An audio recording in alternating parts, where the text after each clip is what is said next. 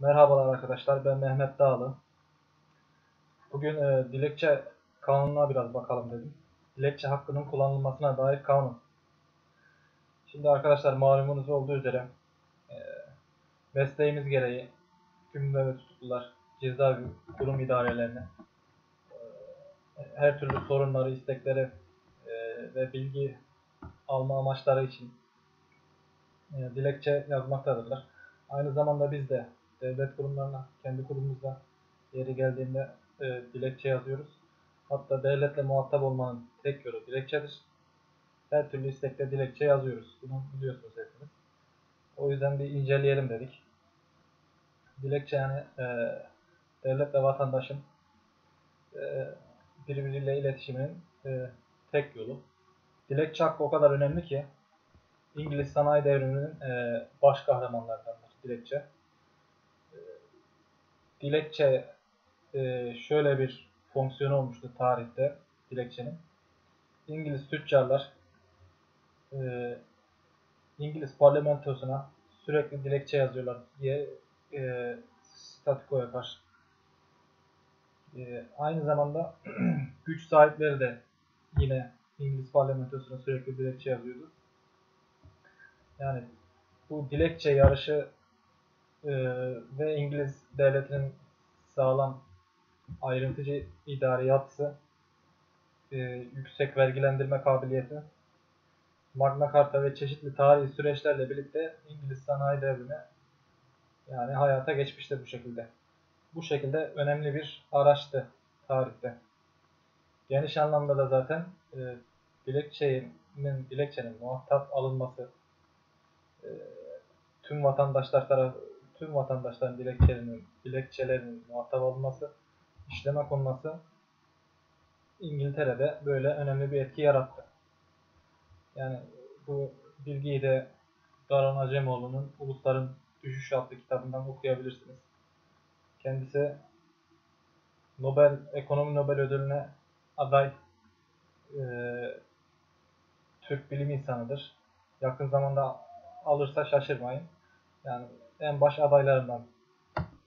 Önümüzdeki senelerde ismini oldukça duyarız. Zaten e, iktisat, ekonomi ve benzer alanları okuyan öğrenciler zaten direkt hatır bilmiştir. Hocaları mutlaka okutuyor bu kitabı. Bir Türk bilim insanının önemli bir kitabı olduğu için. Buna da burada değinelim. Ve dilekçe hakkının kullanılmasına dair kanun maddelerini inceleyelim. Madde 1 Amaç Bu kanunun amacı Türk vatandaşlarının ve Türkiye'de ikamet eden yabancıların kendileriyle veya kamu ile ilgili dilek ve şikayetler hakkında Türkiye Büyük Millet Meclisi'ne ve yetkili makamlara yazı ile başvurma haklarının kullanılma biçimini düzenlemektedir.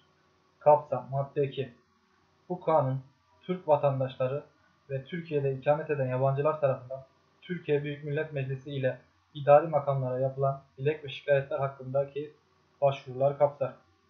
Dilekçe hakkı Türk vatandaşları kendileriyle veya kamu ile ilgili dilek ve şikayetleri hakkında Türkiye Büyük Millet Meclisi'ne ve yetkili makamlara yazıyla başvurma hakkına sahiptirler. Ek madde var burada. Türkiye'de ikamet eden yabancılar karşılıklılık esası gözetilmek ve dilekçelerinin Türkçe yazılması kaydıyla bu haktan yararlanabilirler. Dilekçede bulunması zorunlu şartlar. Madde 4. Türkiye Büyük Millet Meclisi'ne veya yetkili makamlara verilen veya gönderilen dilekçelerde dilekçe sahibinin adı, soyadı, imzası ile iş veya ikamet adresinin bulunması gerekir. Evet. Bu zaten olmazsa olmazı. Genelde telefon da yazıyoruz. Telefon şart değil görüldüğü üzere. İş veya ikamet adresi şart. imza şart. Ad soyad şart. Evet. Gönderilen makamda hata. Madde 5. Dilekçe konusuyla ilgili olmayan bir idari makama verilmesi durumunda bu makam tarafından yetkili idari makama gönderilir ve ayrıca dilekçe sahibine de bilgi verilir. Yani işte önemli bir madde.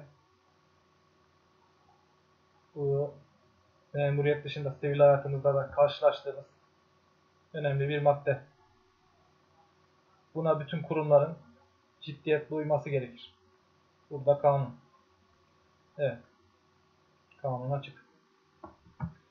İncelenemeyecek dilekçeler. Madde 6. Türkiye Büyük Millet Meclisi'ne veya yetkili makamlara verilen veya gönderilen dilekçelerden belli bir konuyu ihtiva etmeyenler, yargı mercilerinin görevine giren konularla ilgili olanlar, dördüncü maddede gösterilen şartların herhangi birini taşımayanlar, yani imza, ad soyad, ikamet adresi ve benzeri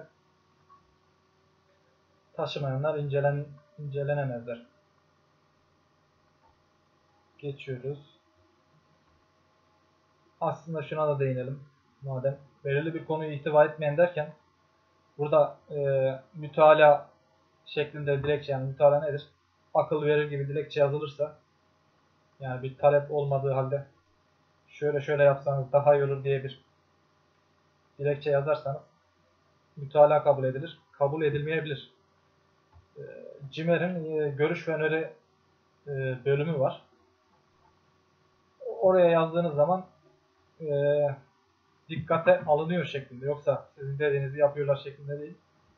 Ya belki yaparlar da mantıklıysa yani idareye uygunsa, idari hukuka uygunsa. Ama burada bunu demek istiyor. Mütalaa ise olmaz.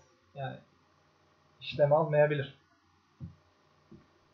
Ee, zaten yargı mercilerinin konularına giren yani hakimlerimiz karar verir buna.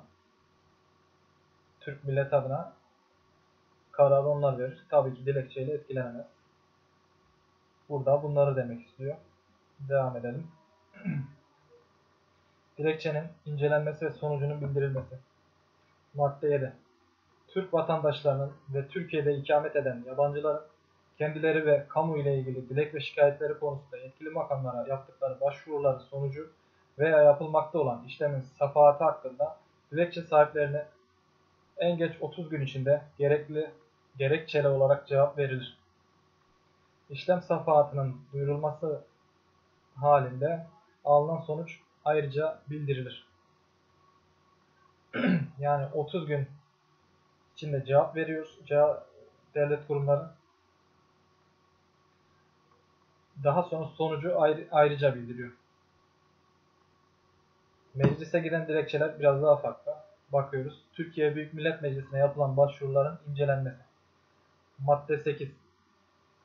Türkiye Büyük Millet Meclisi'ne gönderilen dilekçelerin dilekçe komisyonunda incelenmesi ve karara bağlanması 60 gün içinde sonuçlandırılır. İlgili kamu kurum veya kuruluşları Türkiye Büyük Millet Meclisi Dilekçe Komisyonu'nca gönderilen dilekçeleri 30 gün içinde cevaplandırır. İnceleme ve karara bağlamanın esas ve usulleri Türkiye Büyük Millet Meclisi iş tüzüğünde gösterilir. Yani burada demek istiyor ki arkadaşlar 30 gün içerisinde cevap alırsınız zaten normal yukarıda da belirttiği gibi. Sizin e, talebinizle ilgili e, de ilgili devlet kurumuna dilekçenizi gönderiyor.